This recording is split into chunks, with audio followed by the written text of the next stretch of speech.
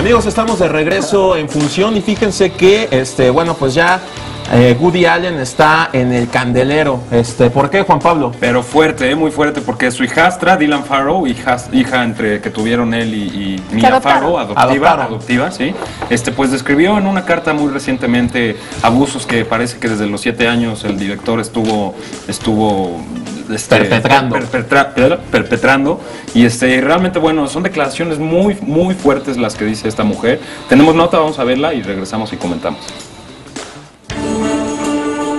Cuando nadie lo esperaba, la hija de Woody Allen, Dylan Farrow, ha roto su silencio y ha acusado a su padre adoptivo de abusar de ella sexualmente cuando era una niña, en una carta abierta publicada en el blog del periodista del New York Times, Nicolas Christoph.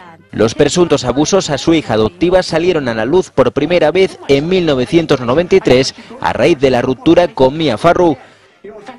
En la carta relata algunos de los momentos de abuso que vivió y recrimina a Kate Blanchett, la protagonista de la última película del director, y actrices como Scarlett Johansson que no le hayan dado importancia a estos hechos.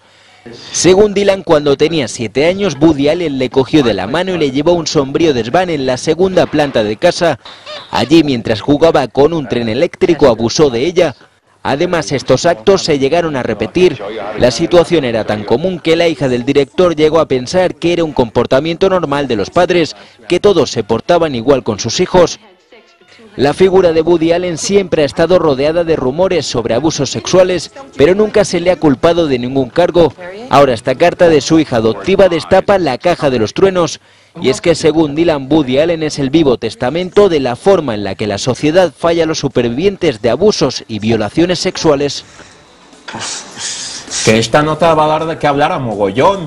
Este, pues, pues eh, definitivamente su talento es indeleble, innegable como cineasta, como escritor, como director, como actor. Eh, pasa lo mismo que con Roman Polanski. O sea, laboralmente son unos tesoros, unas joyas, pero personalmente son otra Todo cosa. sobre el mundo del espectáculo y entretenimiento lo podrás disfrutar en los siguientes videos.